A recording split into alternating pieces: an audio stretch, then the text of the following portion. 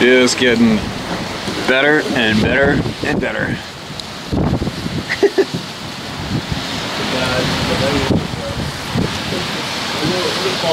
oh yeah. Can't wait to jump in those mountains. Set up my tent. Mm-hmm.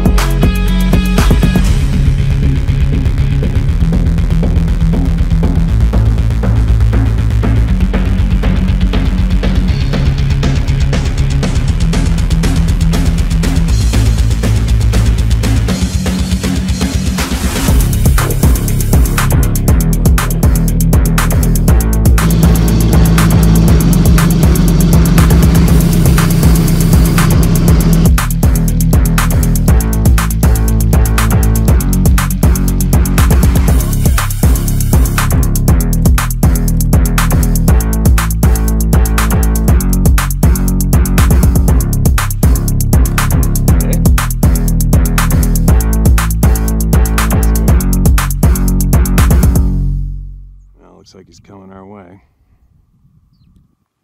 Hopefully, we can scare him away.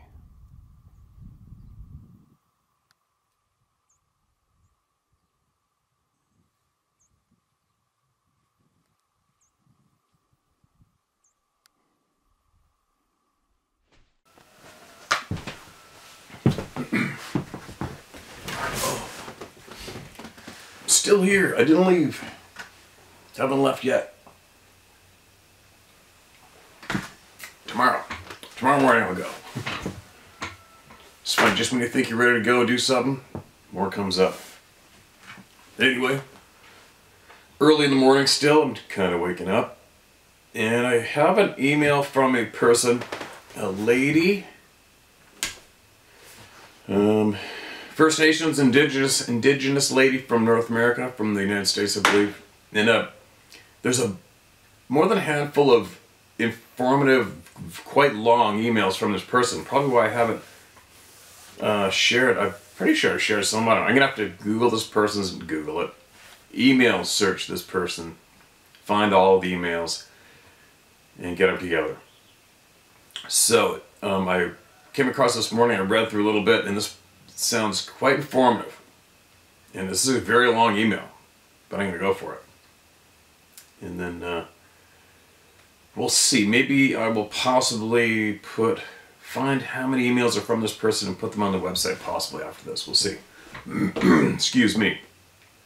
Um, last night, side note, last night we were um, surfing through some YouTube videos on the TV. We don't have cable or watch regular television. And we were watching a show, a quick report from Redacted. Um, there's a couple who report on, quote, the stories the mainstream media won't report on, end quote. Another funny thing about that channel, they have a lot of people email me and tell me my intro's too long. It's too long because they don't know about fast forward. But anyway, this couple, their intro is 30 minutes long. 30 minutes. But you know what? I've never felt compelled to email them and complain about it. Maybe I'm kind of weird, but anyways, sorry I'm babbling. It's my first few moments being awake. The coffee hasn't really kicked in yet. But anyways, they were doing an in-depth report on the possible close to a million people amassed at the south of the U.S. border right now. And Sarah's normally doesn't, she's not into that shit. But even she was glued to the TV. We're watching this, and it's just amazing to me. and we're watching, and Sarah's had a million questions like, what the hell's going on? I'm like, I don't know. It is alarming. It's really weird to watch. And um, I'm watching the crowd. I'm just going by common sense, taking, taking the details and seeing what I notice. And uh, the majority of the people in that line were able bodied males. And the majority, I'd say 100% of those people looked uh, very nourished. they weren't, they didn't look hungry at all to me or uh, dressed in rags. They looked very fit on average, very healthy, clean clothes. And it just makes my brain wonder how do you do that? How do you amass close to a million people and, and get ready to surge across the border? But the most alarming part, I think, is is how does any country, doesn't matter what country it is, how does any country actually open up the floodgates to that? That is crazy, isn't it? It's very, very alarming. And there's obviously something going on behind the scenes. You just don't do that. Nobody does that. Nobody allows that. It doesn't happen. And from what I understand, it is a very effective method of destabilizing a country which then makes you think, well, why are the so-called leaders of that particular country allowing their country to be destabilized? It's very, very alarming to watch, and you wonder if it is just the head ready to explode, right, of the infection. And it's uh, it's just like me and Sarah and I were saying last night, this is a crazy, it's like watching a crazy movie. This is like watching a freaking crazy movie. And not having a clue how it's going to end or what's coming next. Like seriously, what's coming next? this the the shit show going on the past what three years, maybe possibly well three years, has been incredible to watch. If you can think for yourself and see through the BS, it's incredible to watch. Very very incredible to watch. You've had a uh, handful of people have said, well, they've lopped off the head off, they've lopped the head off the snake. The white hats, the good guys are doing this and doing that. I don't know. I haven't a clue if I could. I don't who knows? I don't know. I don't know what's going on. I would not know how to comment on that. But if that were the case, then I guess maybe supposedly the people who are panicking are trying to create as much carnage directly but indirectly as they can. That might maybe make sense. I don't know. But I'll tell you what, I feel for my neighbors. I feel for everybody. I mean, our country is a mess. Yeah, we had Hillary the Killer Clinton as actually was invited to Canada to sit our so-called leader, corrupt leader, supports and associates with Hillary Clinton. That about, that about tells you everything you need to know right there, right? So I guess we all need help in the end, right? Pray for our countries. Pray for our countries. But the states, I gotta get a hold of some of my close friends in southern U.S. to see what's up, what's going on, man. How's this affecting you? Is very alarming to watch. Very, very. It at the same time, it almost makes you wonder how, how even my my YouTube channel, how all of us makes you wonder how all of us can actually have this much attention to these topics that we talk about when when the things that are going on the planet are going on. It's crazy. Now, before I get going on any side topics too much, I suggest we should probably get into this email. Let's listen to this. This is titled Sasquatch Assessments. Hi, Steve. I'll skip the usual greetings to you and get right to the meat of the matter today. Time, energy, and resources of, is the essence here. This is the most efficient way of doing this for me, so please forgive me for dispensing of the niceties in this situation we find ourselves in. In the US right now, those of us online on a certain platform, as well as others, have done our level best to wake everyone up to the truth. We've discovered that in doing so, we were able to wake up as many as we could, and that's enough energy and time expended on that. We'll continue to wake people up, but we've also moved on to discussing things who are ready to listen, such as fellow experiencers. Now, this can be said for any subject matter across the board, excuse me, whether it be Sasquatch or other cryptids, wild dangerous animals, corrupt politicians, etc.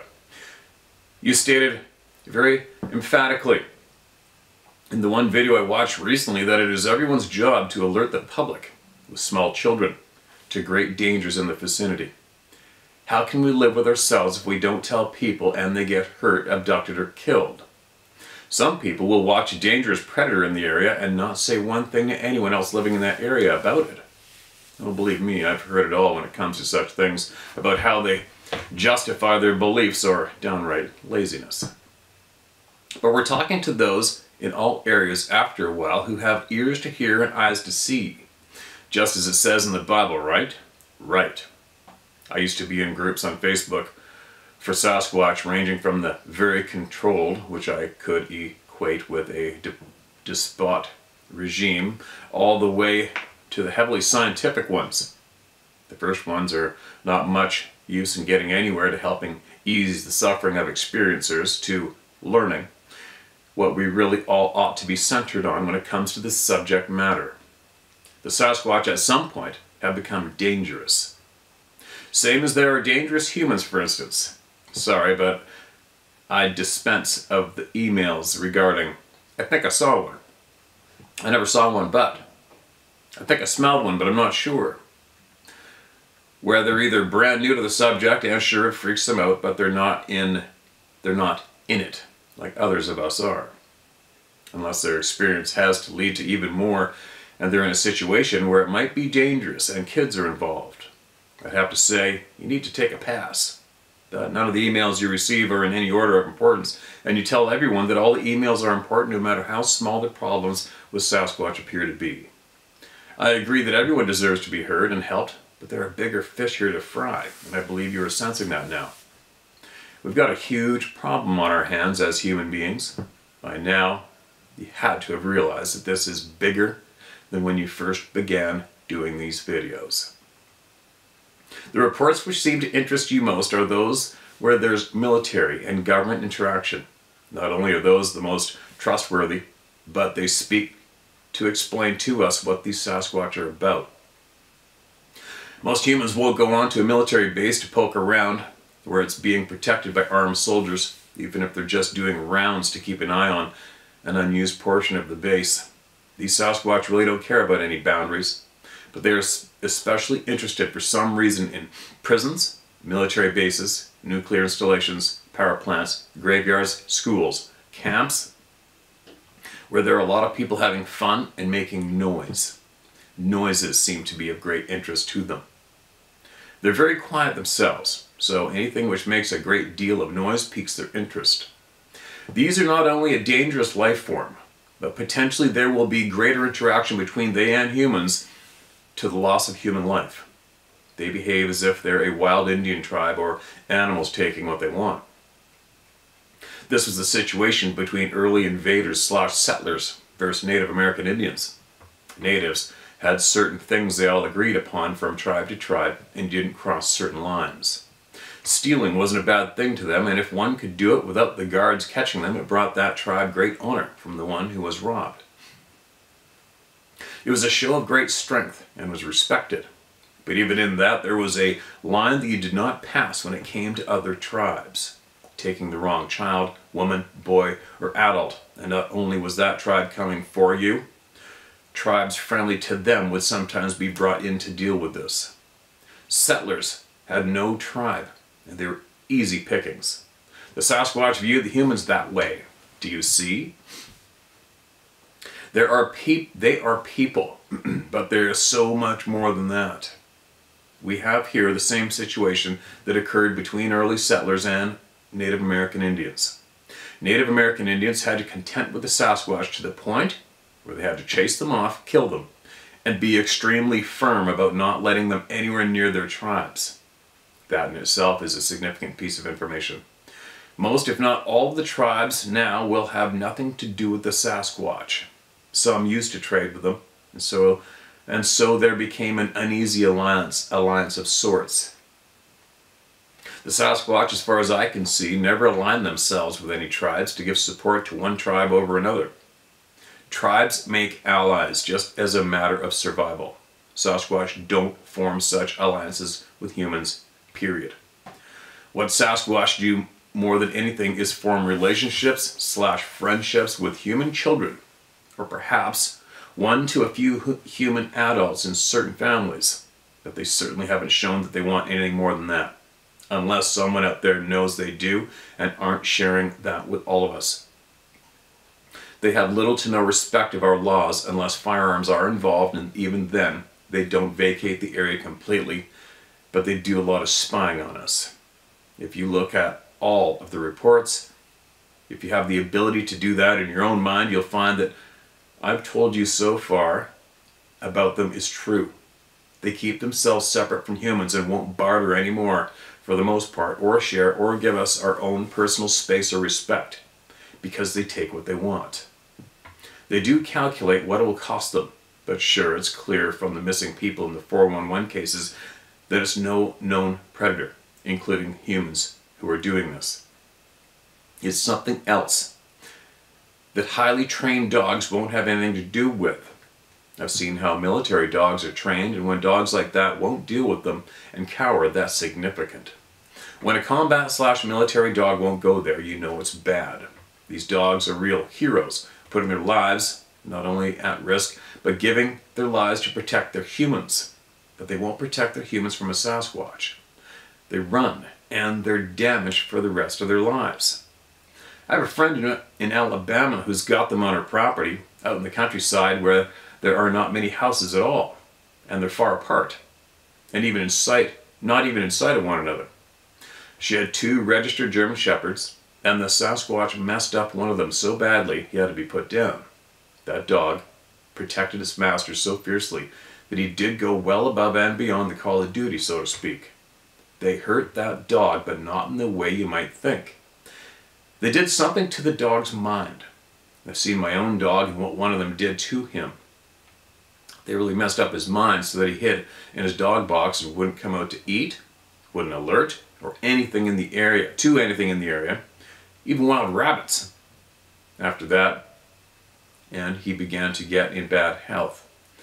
Dad said's enough enough and he went, and the rest of the family set about slaughtering all our chickens in order to stop the damage to our family and my dog, but that did not stop them. They were quite interested in us kids. I remember one of the first times my brother Rick spotted one after dark out in our big yard, and how shocked he was. This one wasn't the one I was used to dealing with a few years prior, which my mind hid from me.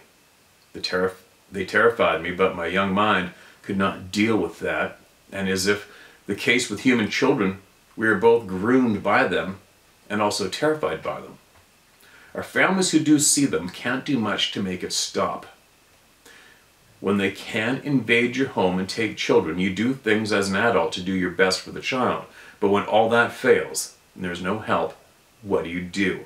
You can only keep doing the best you can do, and that's all. We weren't given a lot of information as children to deal with these Sasquatch, and surely we didn't believe the little we were told. I have to stress this part of it and address it now, given the risk these Sasquatch pose not only to children in general, but the fact that you've got a young daughter yourself that appears that you know one or more of them have been on your current property. Since you told us that you got a great number of chickens, we've seen you get a dog, you've got goats now, and you're right on the edge of the forest. I've been having flashbacks, which have so disturbed my sleep and rest that it's taken me some time to sort through everything in order to just speak about all this with you personally. It would help for the public to be aware of the situation as it really is, and not for them to presume These Sasquatch are only ever usually in the forest far from humans. Nothing could be further from the truth. Not only could they be right next to you and you not know it, I've explained them being right next to my brothers and I, and yes, we all felt it there each time. We grew up in the woods in wild areas. We're trained heavily in how to react to our surroundings. There are indicators which tell you when there's something there. They were there, and there was no doubt about it for any of us. We knew not to take off running and do an every person for themselves thing. We knew we had to protect each other, and as scared as all of us were, we did not split up. We stuck together all the way back to our house or our aunt and uncle's house. Once there, we told Dad what happened to see what he wanted to do about it. Of course, the one that happened, of course, the one that happened near to our aunt and uncle's place was particularly troubling because they were elderly, with one or two shotguns, but our uncle never kept them in good working condition. Neither did he carry them outside, as they were too much of a bother. Even after that, the three of them, our aunt, uncle, and cousin, saw them near the property out in the middle of nowhere. They didn't take proper precautions against being hurt. I remember very well how my cousin often confided in me only to try and work out how she might protect herself and her parents. I had five siblings, and I was next to the youngest in our family, and we visited the house nearly every weekend, but she confided in me. She said she felt she could trust me to keep it from the others and that I somehow had the ability to reason things through when the others blew things off. She didn't tell me fully what they were dealing with until one day, and then I realized this was a very, very, very dangerous thing for them. She was worried how her parents were responding to this when they kept going to this fishing hole near their home to get fish to eat. My cousin was afraid because they had to rely on their garden, fruit trees, any fish they could get, and deer my cousin could harvest to survive. But she said she would rather be hungry than lose her parents or her own life to this thing. She was very afraid to describe this thing until one day she couldn't take it anymore. It appeared that when we were there, it didn't appear to want to mess with them much. But looking back, I can see where it or they even became used to us being around. Dad was told by them that someone was messing in their garden, taking vegetables, and just messing others up badly and leaving them. It wasn't the usual wildlife, and they said we had to come down and see the footprints in the garden to try and understand what it was they were dealing with. They were pretty scared. The size and depth of the prints meant some human wasn't doing this. But what then? Dad had a frame of reference, though he did bring me down there to show me the prints, no doubt, hoping I'd remember what did that sort of thing. They'd been found in our own garden over an hour away from there, and I remembered that. Their prints could be seen, and then they'd vanish, and there's no way something that heavy and big could just leap out of the garden with so, with so much mushy clay to it without leaving prints of some sort. There's no way. All I got from seeing them was a headache from hell which caused me to pass out. When I woke up, their take on it was usual. They thought I was not well, but they also knew I had these spells at times, yet nothing we were looking at should have caused me to do that. What did cause it was that I began to have flashbacks which terrified me. My mind could not handle them, and I passed out. Cold just dropped. I puked while heading to the ground at times, depending on what I was seeing or what was causing me to be in distress. But at that age, when their garden was but at that age, when their garden and ours was being invaded, we could not figure it out. We all had dogs next to our gardens, yet none of those dogs alerted to anything or anyone during the night. In fact, the dogs were messed up in the head and would not come out of their dog boxes. It might be a good good to note. It might be good to note what they were after in the gardens. Tomatoes, sweet corn, some pumpkins, I grow one a year, dark ones. Apples, plums, peaches, cherries, carrots, beets, and those were the main ones from both our gardens where the prints were found. My experience doing home inspection photography for over 10 years in the countryside in Ohio has allowed me to get a broader perspective on Sasquatch on this Sasquatch problem than others. I wasn't collecting reports, but clearly some of these properties were not conducive to anyone living there no matter how nice the places were. Everything in the very air as some of them was telling us to get out. my husband, who usually doesn't pay a lot of attention during inspections, came to me and said he kept wanting to just run from certain houses once there and doing his job and how unreasonable and overwhelming that feeling was. He came to me to see if I was encountering the same thing and I was. I kept it hidden from him since sometimes he just blown it off and said I was afraid for nothing. But when it deeply affected him, he had to have a second opinion, so to speak, to tell him what was going on with me. Then we began to keep an eye on the seller and buyers, as well as realtors, without telling them anything. Sure, we noticed how they kept looking around like they were really paranoid. In those days, we were not about Sasquatch at all, and frankly, in our work, only a few times did the seller talk at all about a huge man with a lot of long hair. That's about all he'd say. That's about all they'd say. The creep factor when returning to those places was off the chart. Gave us the willies big time. The longer we stayed, the worse it got.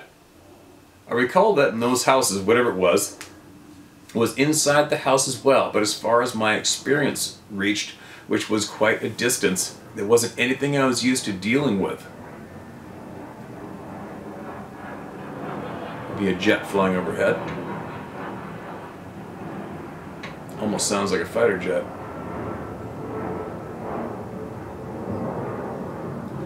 It was always like get out and get out right now. It was insistent, insistent and brutish. When homeowners and their children behave in such a way, they appear to have been abused by not not by other family members, neighbors, or anything else, and they won't talk about it. You have to glean what you might from what you see in their houses. My husband had done undercover work for the feds, so I watched as he checked these places out. These people weren't settled for the time they said they spent there. Whatever was bothering them all, it had been there the whole time. When the buyers said they were taking the house, oh my gosh, the huge sighs these sellers let out. It showed a level of desperation to get out of that house that was beyond what the buyers could see. When we had to inspect said houses again after a short time and the sellers had that same look on their faces and acting paranoid as heck, we knew that we knew that certain of these houses had something else going on with them. Yet our minds, for the most part, did not get on the subject of Sasquatch. We'd both experienced what people would call human hauntings in our life, but this was not that. It was intense and like someone drilling into your skull to get out all the time. Whatever this was, it wasn't there when the house was being built or first occupied. We struggled ourselves to come to grips with might, what might cause this. Was it something to do with the land? It struck me that the houses were built on land, on land which felt claimed, like a trail that was used for generations by animals. Had a big house planted on it, but no, wasn't anything to do with animal pathways at all. How to explain it to you and your viewers so you will know how to be safe? It's difficult to tell any of you what this is like personally. We had a lot of experience inspecting homes and businesses in all types of settings in the countryside and cities, but this is an aspect of the Sasquatch, such as they lay claim to certain land, and if you violate it, they unleash holy hell on you, your loved ones, your animals, and on frequent visitors to your home and property. It's an energy, or energies. Many times much more than just one of them, which feeds on the energy of the humans in that structure. It feeds on humans' physical energy. It clouds humans' minds. It's an energy which sets humans against one another to drive them out. But they come into homes and businesses. These Sasquatch are not animals, and they're not just people either, Steve. Native American Indians know better than to trade with them or communicate with them if they know what's good for them. Once they're in your life and you communicate with them, they feel like they can take what they want from you or those you love. They claim you into their tribe, so to speak, and you don't have a clue they've done it. In our valley, I can look back now and see that they claimed all the families in our valley as if they were all under their control. They even claimed the bad boys prison up the road and everyone in it as well, including the guards who were usually very unnerved by seeing them up there and not being able to do a thing to them for trespassing. What's trespassing to a giant hairy human who takes what he wants? Nothing. To open communications with them is to invite them to rule over your life and hurt you if they don't get what they want from you. Nope. Um, I hope I'm making myself clear to everyone here. The more someone visits their places of habitation in the woods, for instance, the more they will treat such people as if they are members of their tribe because you're on their land. You've enmeshed yourselves in their lives even when you can't see them. We expect wild animals to take a hint and steer clear of human habitation, and when they don't, we tend to take appropriate action towards them. Most come in to get most come in to get the garden, cats, animal feed, farm animals, and if they show they are not sufficiently scared of doing that, we have no choice but to deal with them. When it's a more dangerous animal, we track them down and dispatch them if they won't be hazed out or the Division of Natural Resources of the Forest Service won't, won't relocate them. But we're talking about giants here, not bears or cougars. We're talking about a being who can't be caught or relocated, and the rangers are scared to death of them. The turnover rate of rangers quitting their job when they're stationed in the more remote wild areas is huge. And you'd think it was from trauma from bears or not being able to handle solitude or something, but no, it's not. It's from things they won't talk about, and the Forest Service is perplexed as to what's causing these individuals who can't deal with anything in the remote wood to just up and quit, never to work such a job again. I mentioned this after my husband said he had looked into doing that job, and we watched a program about it on TV. It's sort of a documentary to try to get young men and women to do that job for the Forest Service. I presume they even had a clue. I presume if they even had a clue to what they were divulging to the public, which could trace back to Sasquatch, they would never let that into their show. The rangers talking about this kept wanting to divulge more and seemed scared but not of the Forest Service or government. No, they were afraid of, of ridicule, mockery, or derision from the public. They also had to know that if they talked, the people paying for that to be made wouldn't allow it to get into the show. But we could tell that they were really wrestling with information, in, sorry, with informing new ranger recruits from walking into a horrific situation in which they could see and sorry, in which they could lose their lives. So they began talking about bear attacks and how to avoid them, and what to do if they got attacked.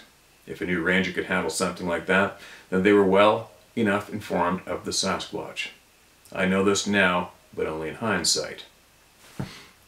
I've had countless experiences with being trained how to investigate such things, from Dad training me to do it from the time I was very young. He told me one day that it would be vitally important for me to tell everyone that I could what I know about these Sasquatch. He also said that I had a lot more to do with them than I could remember at that time, and that experience could save lives. But yes, we were talking to forest rangers quite a lot and traveling to where things were happening on state and national property. Officially, the government both did and didn't know we were there doing this with Dad's crew. Unofficially, it was the Rangers who got together and brought us in there to investigate. When they'd seen me coming along with my dad, they said there's no way they're taking me in there. But Dad had to convince them that without me, he could not do this for them effectively because there were things I could do that I could not. Sorry? Did I read that correctly? He could do this for them effectively because there were things I could do that I could not. Until you read the emails of the elders translating those journals that didn't make a lot of sense to me. The U.S. military used Native American Indians are their best trackers and trainers in Vietnam. Dad was using me in that same capacity, but in other ways as well. I was trained as a child to do things that the government wanted me to do, that they couldn't do. But they also were making us, sorry, but they also were making use of Native American talents which were, how shall I put it, part of my DNA, I suppose. The government meant to separate we Native children from the adults, to kill the Indian in us to save the child. It was the motto of the early residential schools. It was carried on after that through forced adoption of native children like me. But as they found out, it didn't take There was something to us and in us that could not be removed through re education. So if you can't beat an enemy, you join them or use them. The government of the United States has a very long history of doing things with the Native American Indian children, and for very good reason. Not all of us, but some of us, have abilities that other races don't appear to possess in the United States. You work with the population you have. Native aren't good for building railroads, for instance, but they are expert trackers, and the best when it comes to covert warfare or spying. Just as the elders revealed, we Native American Indians have a lot more to us, which has fascinated this government where I live, and that in Canada for a very long time. It's why you found out about the pit of dead bodies belonging to American Indian children in Canada next to that research facility. It's why the ruler up there told everyone that it's okay because it was all done legally. That was not done all that long ago for anyone to all dismiss it as a severe case of human rights violations. Did no one really question why they used and killed babies to children up to three years of age at that place? What could they have possibly been doing with them? And why were they only Native American Indian children and not that of other races? It's not like they are not enough disposable children of all races they can get their hands on. Now, isn't that true? Sure it is. There are specific things they're researching and developing with Native American Indians which fascinate them. I know in part what the lab did with me and other Native American Indian children. They certainly weaponized us. Why else teach martial arts to five and six year olds? Though it was hilarious to watch, I'm sure there was a big payoff for our government by investing all they did into that program alone for it to be worth their while. They don't do things for no reason, and they have to justify their bosses that the money's being spent or paying off. This government and the Canadian government have both been involved in using Native American Indian children in labs for many decades for R&D and their projects are usually only about how to build a better war machine. You do the math. Now the Sasquatch are particularly interested in encounters with Native American Indians as well, and very few happen with other races on this continent at least. I've not had the inclination to look into how much indigenous peoples they interact with on other continents, or the rates for each race. That would be a very important piece of information to have overall. Here's the thing, Steve. Whether we be in a personal struggle with these Sasquatch through their invasion into our own lives to lose to those of our family, our livestock and pets, our land and buildings, to them watching schools, churches, and other places where they watch us will one day be in a fight with one or more of them, and we're probably not going to win against them. It's time we began to learn from the past and how people who were on this continent dealt with them. The elders said they agree with the fact that it's time whites know what they know about them. Yet, they're still being very guarded in what information they're releasing to the public. It's the aspect of things Native American Indians can do, which could bring all hell raining down on all our heads as natives, which bothers us most. If people in these countries knew what we are capable of, they could start murdering us in great numbers again as if we were evil, and that's a great concern. We must protect our own. So, as far as I can tell, the tribes could be employing the power they have in the case of the missing and murdered Native women. But it's clear they have not employed that yet, or maybe not much yet. Let me tell you that even though you might not believe it, or want to believe it, there have been times when both governments have greatly benefited by the abilities and skills that natives had that they themselves did not have. It's too bad that whites think they know everything and have to rule over everything when with an iron fist. When the crap really hits the fan, though, You'll all come back and talk to us, and then you'll be ready to have your eyes and ears opened. I can warn you the same as you talked on one of your recent videos to warn people strongly about bears, for instance, and how they don't pay attention to you, but they believe they can handle anything just fine on their own and don't need you telling them what to do and shoving it down their throats. I can commiserate with you on that count. Some people are just so full of themselves that they don't care what someone who knows the truth is telling them to save their lives. Remember that guy who was sitting in lawn chairs right next to bears, filming them up close, and they ate him and his girlfriend? We all knew it was going to happen because he wanted to show how close he could get and how close everyone could get to them and not be harmed. All it takes is one time and you're gone. I've come to know you and your little family and even some of your friends through your videos. We've seen some, and most we have not yet. But you're a part of your community and you're working within it when it comes to animals, people, and Sasquatch. Most won't do it, but you are, and for a reason. Someone has to do it. But most don't know or don't care they're around where all of you are. But even you don't know how much danger you and your family are in right now. They can and do come into people's houses, and they don't have to break anything to get in. You will not see them, but you will feel them in there. Your daughter most likely will be the one to see them in the house and outside more than you or your wife. They love doing that to children, knowing most parents won't believe them. I truly believe they like messing with kids' heads and ultimately terrifying them, if not taking them. I was taken by them as a child and even into my adult years from my home and then returned. You won't always be able to tell other than she might say she had a really bad nightmare, which was very unusual and entailed giant hairy humans. How will you protect her then? Well, you have, well, you have to clue into the fact they've been in your house and you believe that it's secure and they can't possibly do anything, do that without you knowing. I'm here to tell you as a childhood victim of this myself that the one who took me for around five weeks from my home did so with technology. Blow that off though and laugh it off. Okay, I'm telling you the truth. Mom and Dad laughed when I told them how he was getting me out of the house after Dad nailed the windows shut with long nails, put deadbolts on both doors with chains, and he still removed me from my home. They could not ignore that there was no damage to my room at all, and they found me on the front lawn every night at 2 a.m.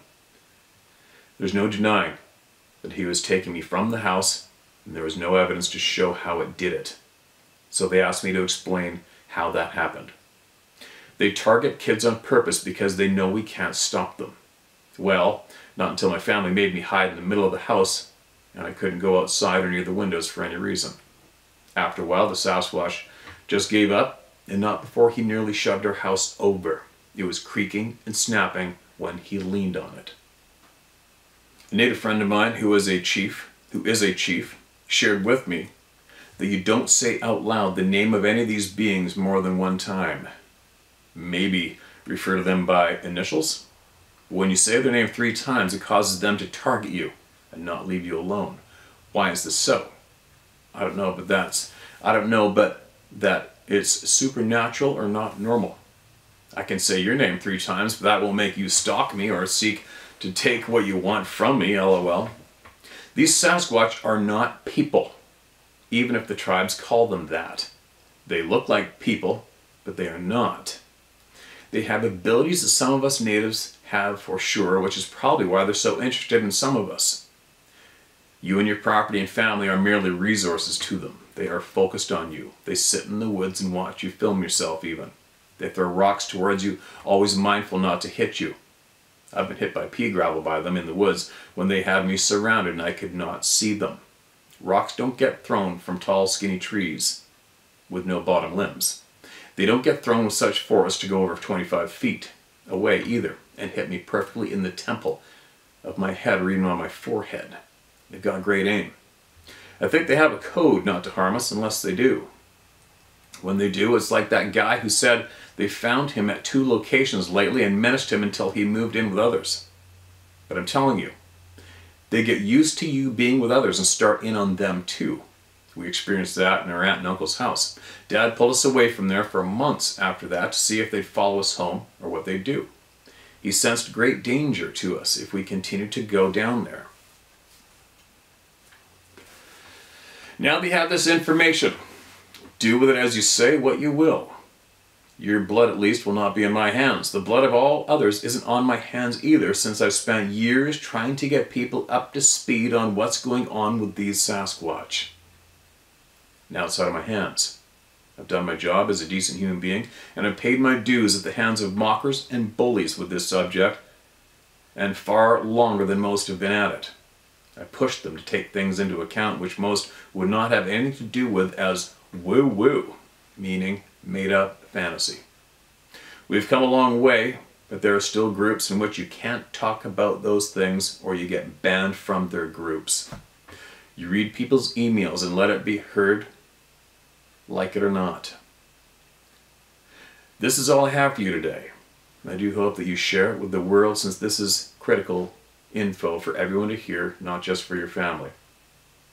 But if it does not get read, then I suppose it wasn't meant to be by God or for whatever reason He's God. You can't possibly be reading all the emails that have been sent to you. That's just a reality. But one day I hope to find a few of I hope you find a few of mine and realize before I'm dead and gone that I am a resource for information you've been seeking and not finding. Find me too late and you'll regret it? No, because I'm sending you everything I recall when I recall it. I know how important it is. I also know that as slow as men are, sorry, I also know that as slow as men are at getting to things and the way they do things is not efficient or practical. You all don't read instructions or take instruction a lot of the time. Guilty. Hey, I grew up with three brothers and a dad and uncles and grandpas, and I know what I know about your gender.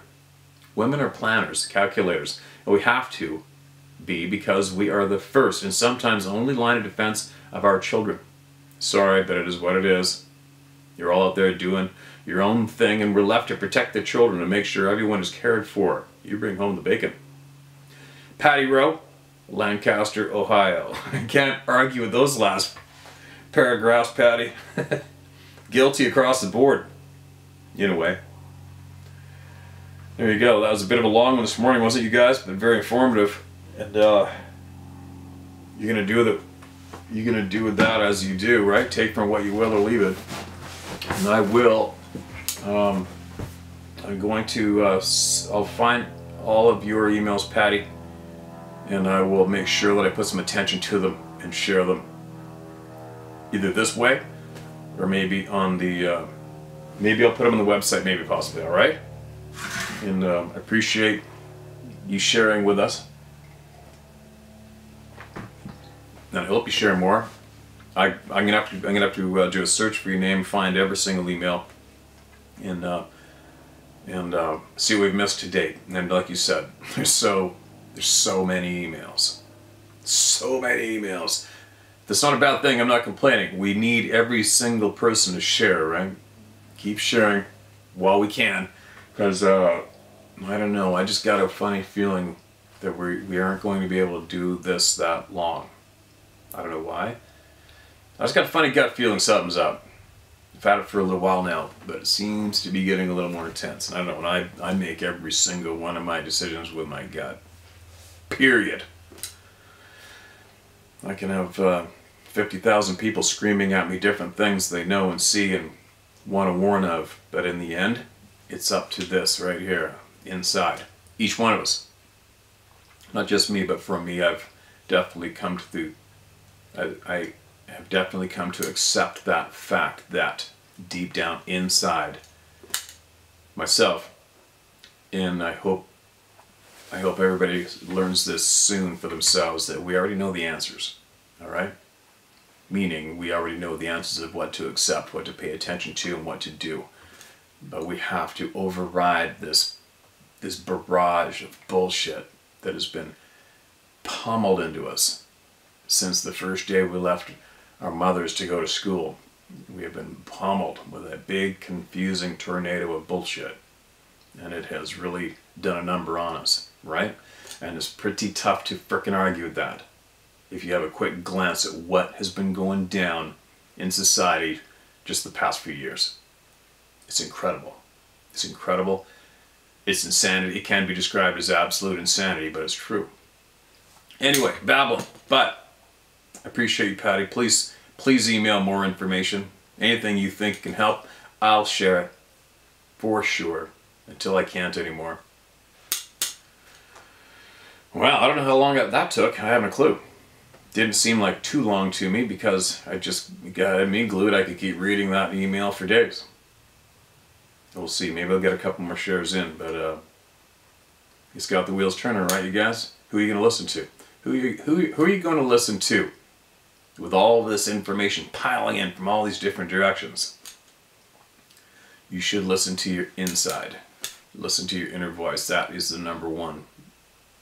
That's the number one source you need to listen to. Anyway, give me a minute here.